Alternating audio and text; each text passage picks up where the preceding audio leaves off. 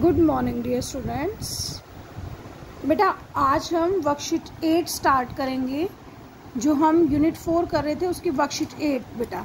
उसमें क्या है हमारे पास? ब्लैंक्स हैं बेटा, जो हमने अभी मल्टीप्लिकेशन सीखा था। सेम वैसे ही ब्लैंक्स हैं बेटा। बस ब्लैंक्स कौन से हैं? फ्रैक्शन वाले ब्लैंक्स हैं बेटा। ठीक है ना? जैसे देखो मैम ने आपको क्लास फोर्थ में भी करवाया था बेटा। कैसे करवाया था? मैम ने आपको देखो कैसे करवा दिया था कि देखिए इधर कि जब आप किसी भी चीज़ को मल्टीप्लाई करते हो कि अगर आप टू को थ्री से मल्टीप्लाई करते हो is equal to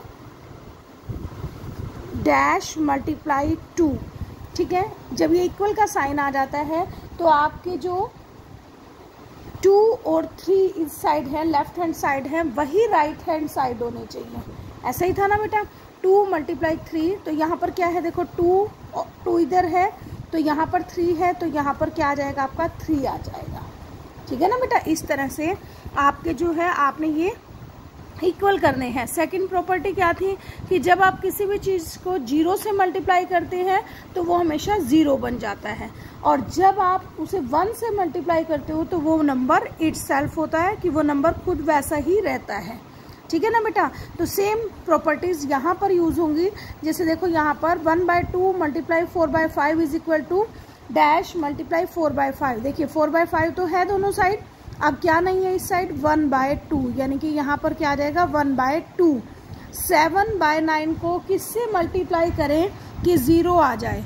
seven by nine को किससे मल्टीप्लाई करोगे? ज़ीरो से। ठीक है ना? आप देखिए one by two multiply one by three multiply one by five ठीक है? यहाँ पर one by three one by five तो है, ये क्या रह गया यहाँ पर? वन बाय टू इस तरह से। Two and five by seven को किससे मल्टीप्लाई करें कि ज़ीरो आ जाए? ज़ीरो से। ठीक है ना?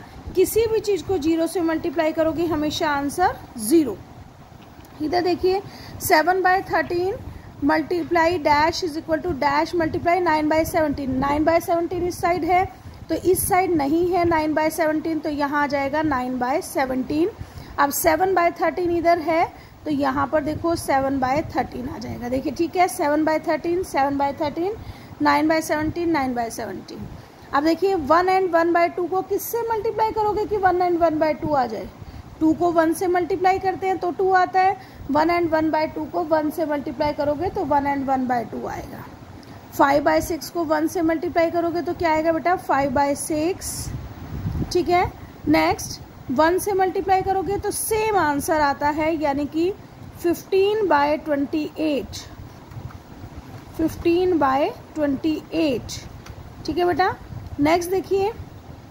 टू बाय फाइव इस साइड है। लेफ़्ट हैंड साइड चेक करो टू बाय फाइव क्या left right hand side two by five है? नहीं। तो यहाँ क्या आ जाएगा? टू बाय फाइव अभी पेन दियो एक। पेन नहीं चल रहा है। टू बाय फाइव आप देखो, यहाँ पर three by seven right hand side देखो थ्री बाय सेवन है, लेकिन left hand side three by seven नहीं है। ठीक है ना? तो यहाँ पर आ जाएगा थ्री बाय सेवन क्लियर है बेटा?